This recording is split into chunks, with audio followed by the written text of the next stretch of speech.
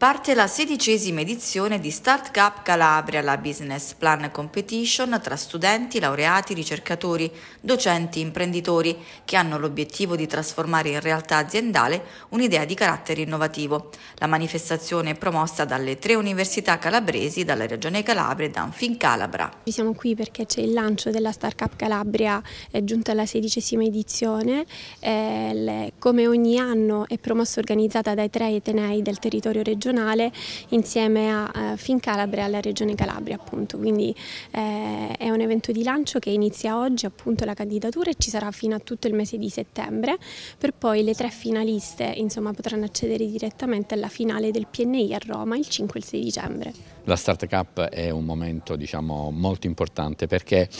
è la sintesi un po' del lavoro che si fa durante l'anno perché si cerca di, eh, di, portare a frutto quelle che sono le ricerche che facciamo all'interno dei nostri laboratori per provare a far diventare queste ricerche delle opportunità di impresa.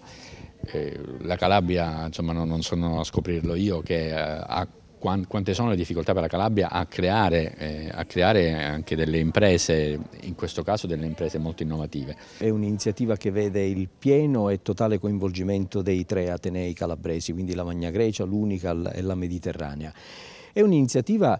eh, gloriosa per la Calabria perché eh, gli anni precedenti hanno portato delle, degli ottimi risultati per alcune idee imprenditoriali che poi hanno vinto anche dei premi a livello nazionale.